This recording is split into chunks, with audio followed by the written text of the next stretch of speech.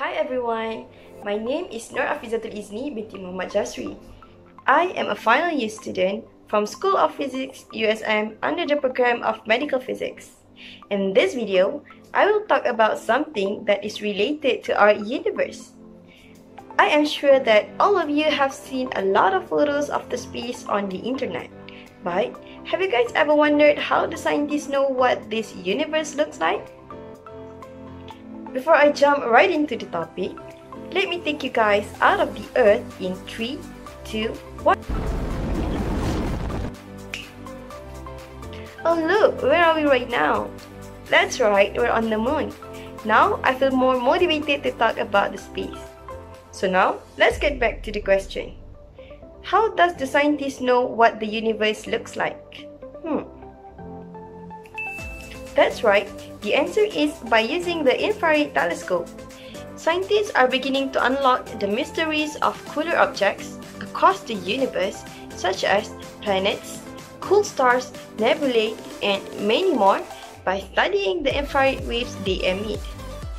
Infrared waves have longer wavelengths than visible light and can pass through dense regions of gas and dust in space with less scattering and absorption. Thus, infrared energy can also reveal objects in the universe that cannot be seen in visible light using the infrared telescopes. Now, what is infrared telescope? An infrared telescope is a telescope that uses infrared light to detect objects that is too cool and therefore too faint. Infrared telescopes use fundamentally the same components and follow the same principles as visible light telescopes. Namely, some combination of lenses and mirrors gathers and focuses radiation onto a detectors. The data from which are translated by computer into useful information. The detectors are usually a collection of specialized solid-state digital devices, and the most commonly used material for this is the superconductor alloy mercury cadmium telluride. To avoid contamination from surrounding heat sources, the detectors must be cooled by a cryogen such as liquid nitrogen or helium to temperatures approaching absolute zero. So, why use an infrared telescope? Infrared astronomy gives the scientists the ability to measure the temperatures of planetary bodies, stars, and the dust in interplanetary space. There are also many molecules that absorb infrared radiation strongly. Thus, the study of the composition of astrophysical bodies is often best done with infrared telescopes. Optical and infrared telescopes are very similar in construction, but infrared telescopes like the IRTF are designed to minimize the amount of heat that is emitted by the telescope itself. How the infrared telescope is designed The well-known infrared telescope is called the Spitzer Space Telescope. It was launched on August 25th of 2003 and was recently retired on the January 30th of 2020. The spacecraft consists of an 85 cm diameter telescope and three cryogenically cooled science instruments which will perform imaging and spectroscopy in the 3 to 100 micron wavelength range. The image on my left shows the major components of the Spitzer Observatory. The one shown in blue is called the Cryo Telescope Assembly and this part of the telescope is cooled to within a few degrees above absolute zero with liquid helium, while the one in the red is the warmer part of the spacecraft. Spitzer's outer shell is made up of a dust cover, outer shield which is cooled by helium vapor, thermal shields which is to block radiation from space, and the solar panels to shield it from the sun. The telescope and cryostat are surrounded by the outer shell. The shell keeps exterior heat from reaching the telescope and instruments by radiating it out into cold space. The telescope is attached to the top of the vapor-cooled cryostat shell. The telescope and cryostat shell are launched warm and cooled down once in orbit. Spitzer's cryostat will keep the instruments cool by venting helium vapor from a liquid helium tank. The multiple instrument chamber containing the science instruments is mounted directly to the helium tank in the cryostat shell.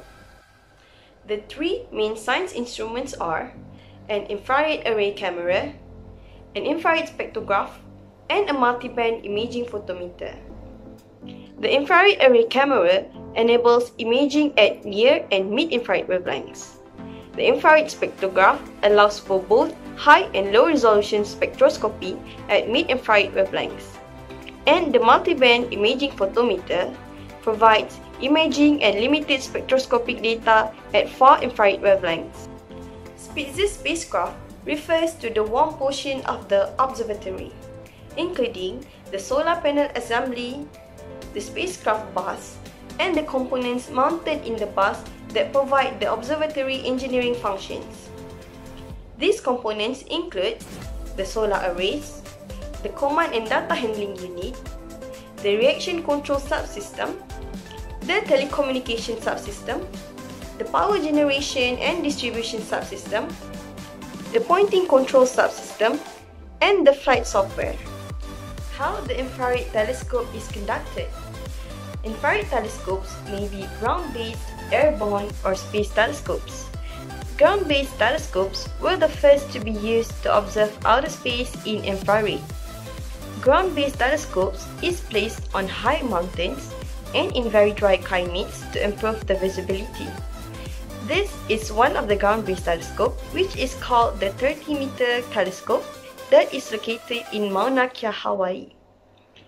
An airborne observatory is an airplane, airship, or balloon with an astronomical telescope. By carrying this telescope to a sufficiently high altitude, the telescope can avoid cloud cover, pollution, and carry out observations in the infrared spectrum above photo vapor in the atmosphere which absorbs radiation, infrared. This is how they conducted the telescope through airborne. This is SOFIA, which stands for Stratospheric Observatory for Infrared Astronomy. It's a massive flying telescope operated by NASA and the German space agency DLR. A space telescope or space observatory is a telescope that is released into the outer space to observe distant planets, galaxies, and other astronomical objects. There are a lot of telescopes have been released to the space in the past. Some of them are Spitzer Telescope, Hubble Telescope, and James Webb Space Telescope. Watching the skies in infrared also let the astronomers study objects that aren't hot enough to emit in more energetic wavelengths like visible or ultraviolet light. Planets, for example, aren't hot enough to emit visible light, but can glow in infrared. Studying the infrared light from planets in our solar system has revealed new features that weren't otherwise visible, like a batch of cyclones at Jupiter's south pole, or a massive invisible ring around Saturn, or that nebulous patch across the center of the sky called the Milky Way was actually not a cloud but a collection of countless stars. Many parts of the galaxy still not yet been discovered and still remain mystery until today. It seems that this will be the end of my video. Thank you so much for taking your time to watch this video and before I end my talk, I will treat all of you to some beautiful images of our universe that have been captured successfully by the Space Telescope. Enjoy!